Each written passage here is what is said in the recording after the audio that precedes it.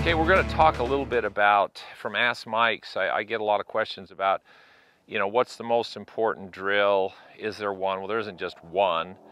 Uh, there's a lot of really important drills, or, you know, uh, if I was just going to do one thing, what would it be?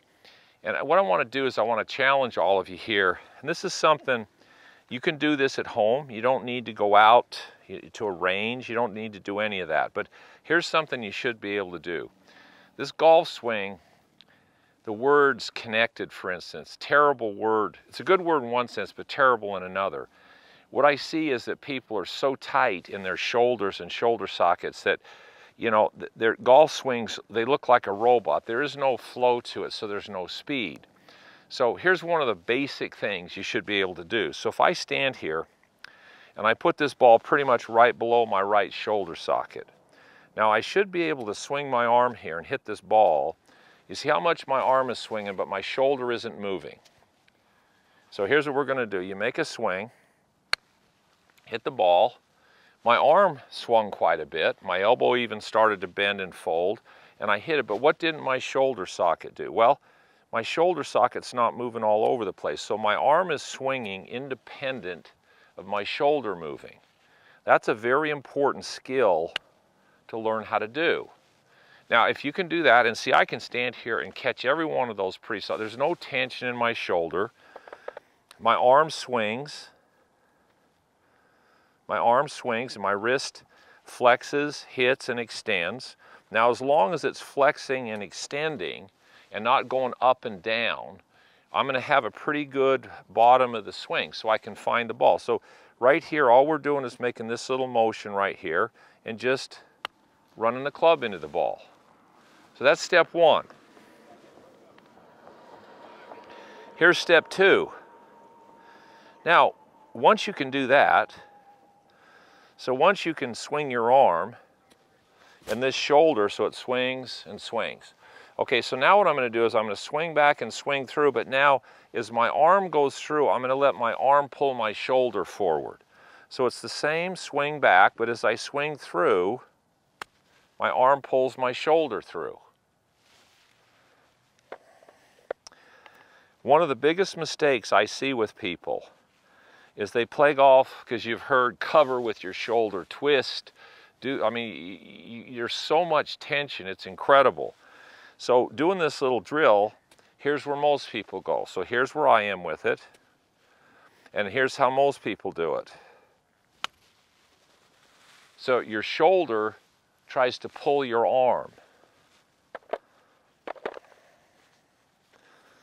So once you can do the first one, where you're making swings, where this isn't moving, now you're gonna go ahead and let it run into the ball, and as my arm goes past, it's gonna pull my shoulder, which means my hip is gonna move with it.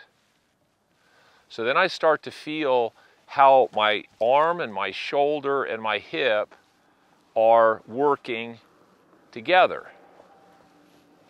Okay, so as simple as that looks, okay, basically if you can't do that, you know, we're really in trouble relative to what we can or can't do with your swing. Now, how did I learn this? Okay, I was a kid. I used to pick up balls on this little area, this little nine hole course for the head pro that gave lessons. And I always had a drink in my hand. Okay, so I didn't want to spill the drink. So I would pick the balls up, they'd be spread all over. So all I'd do is I'd stand there and I'd hit the balls over to the shag bag. So what did I learn to do? And I'm walking around hitting balls back over to the shag bag.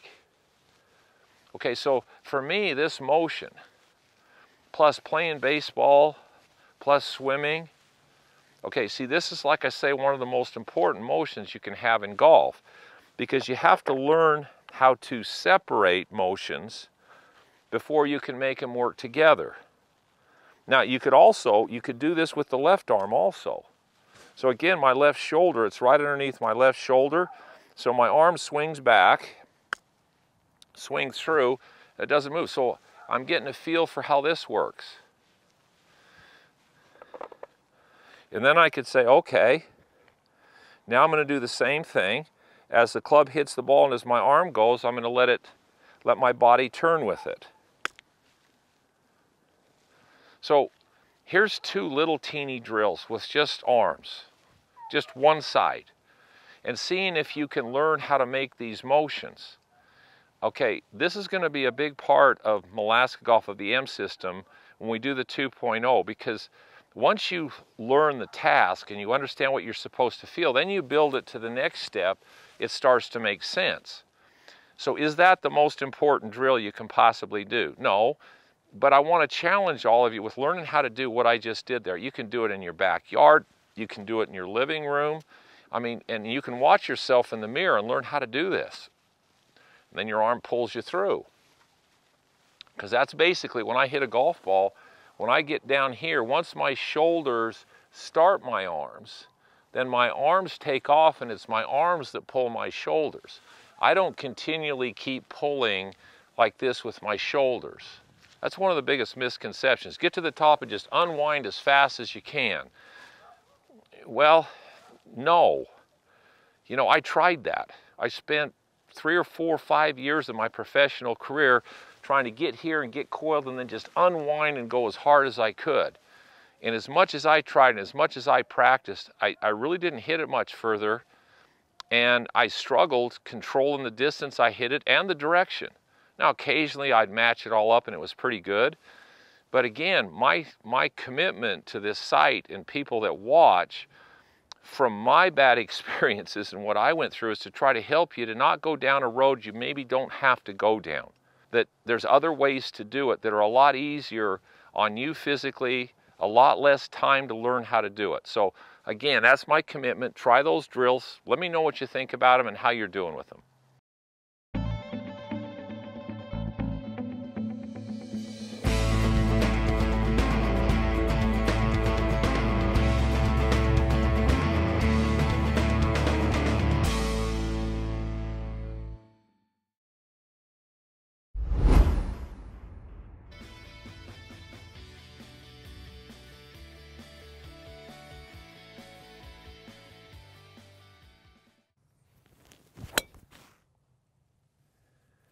Be sure to subscribe to my channel for regular updates and tips.